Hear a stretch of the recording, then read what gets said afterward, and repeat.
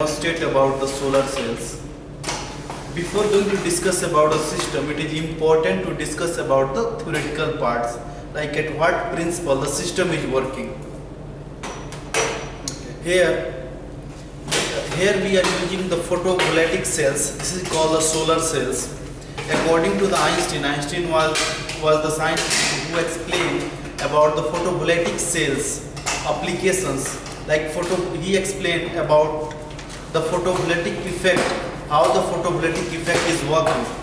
According to the Einstein, he explained that if there are photovoltaic materials, then if the if the light is if the light energy is coming, then this material uh, start the, the electrons the some suppose the here is the n part of the material and here is the p type of material like in the n type of material the n is it is in majority and p is the in the p type of material p is the in the majority form. Now when the light is coming from the top this is called the light energy. When the light energy coming and go, going from and hitting to the sample and going to the other direction that time the the light photon is giving the energy to the materials and this electron start flowing in the loops after that here we are using the same photovoltaic cells and the all we are connected together. Then the what application will be happening here. When the light will be when the light will be fall to the our sample then sample this uh, solar cell get excited and they start the electron will start move in they will start move in the loops. Okay. Second point we are using here the artificial lights artificial lights we are using here artificial light to give the light to our samples. Next first this is the this is the theory about the equipment. The, like at what principle it is working we are using the solar cells made by the silicon materials and we are giving the light.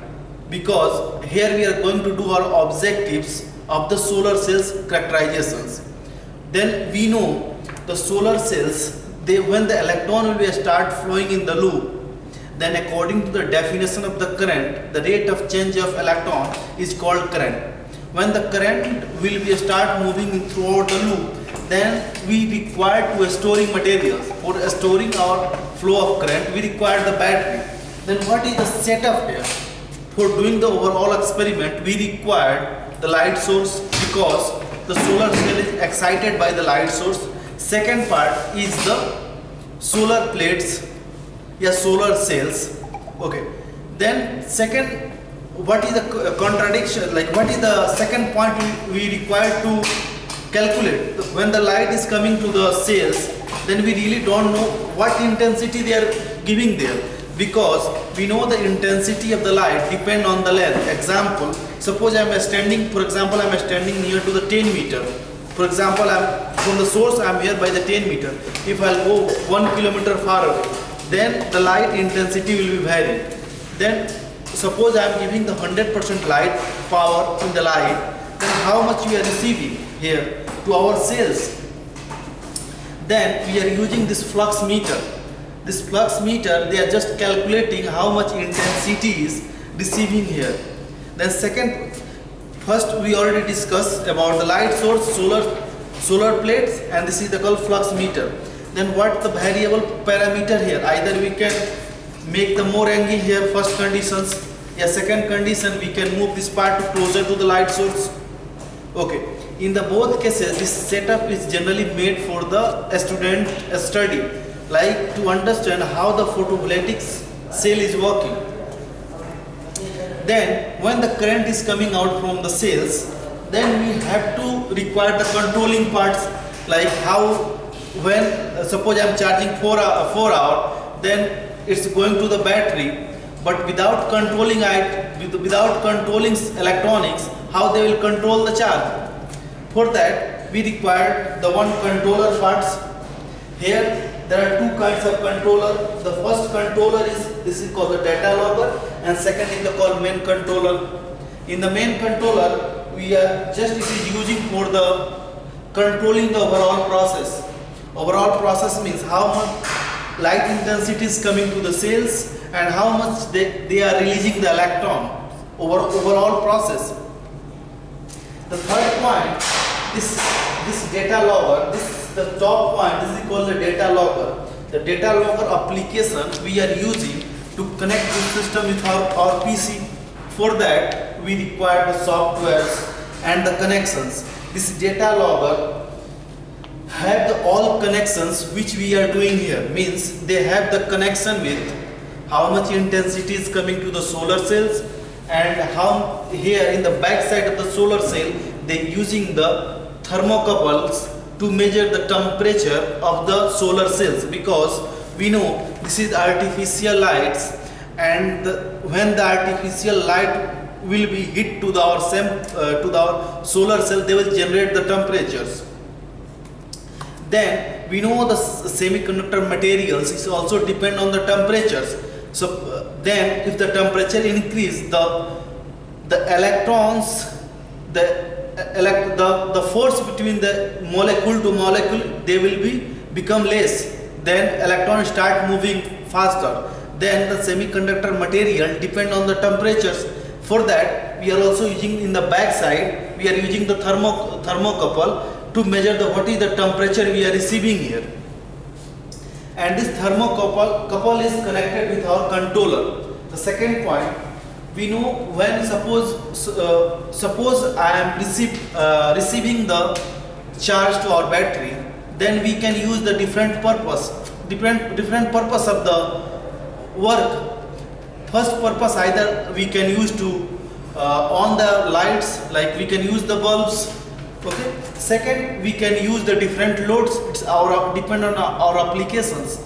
Suppose this solar cell either you can fix to our home application also suppose you buy 50 numbers of this kind of solar cell and you can put your to to your home and you can use these lights. Next. These parts this we discuss about the solar cells. Solar cells flux meter thermo uh, thermocouple backside down controller, uh, data logger and the, there are two parameters still remaining.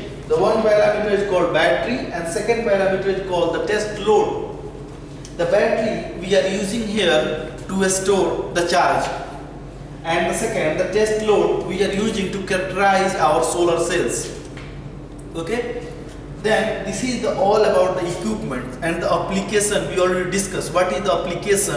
And we know the in the real life everywhere the people is people is using the solar cell in the different industry even in the uh, even in the one more very uh, good application for solar cells uh, the people is uh, in the uh, just I missed the one point the, just this solar cell uh, satellites they are when they are making the satellites satellite circuits and they're the the scientists sending the equipment outside of the earth orbit orbits that time they are using the solar cells for making the charge and discharge the electronic circuit inside. Because there we cannot give the external power by the form of the battery. Because you know the battery have some time period to discharge.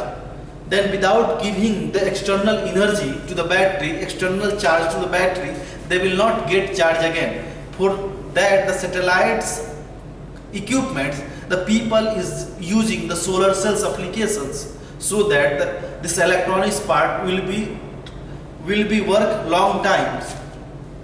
In the solar cell also there are different there are different type of solar cell available in the market. Here we are using the silicon solar cell.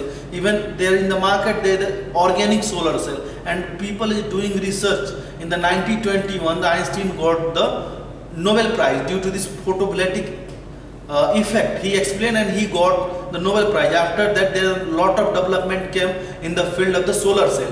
That is a very nice application for the solar cells. Even in the real life, the people is trying to use this solar cell because there are low maintenance cost and very easy to install and and they have the long time work uh, work life without giving the external maintenance. Suppose if you are using the light by form of the generator electrical generator any kind of generator is required to give the external energy to continue long time. But this system have the very less maintenance and good applications. That's we are here to discuss about the system and to teach to the student how the photovoltaic cells and application is working. This is all about the systems. Next we have to move to the, our software parts how we are connecting. For the connecting the software, I am using the USB cable till to our uh, till to our uh, CPU. There I have already installed the software. Then now we have to discuss how the software is working. Okay.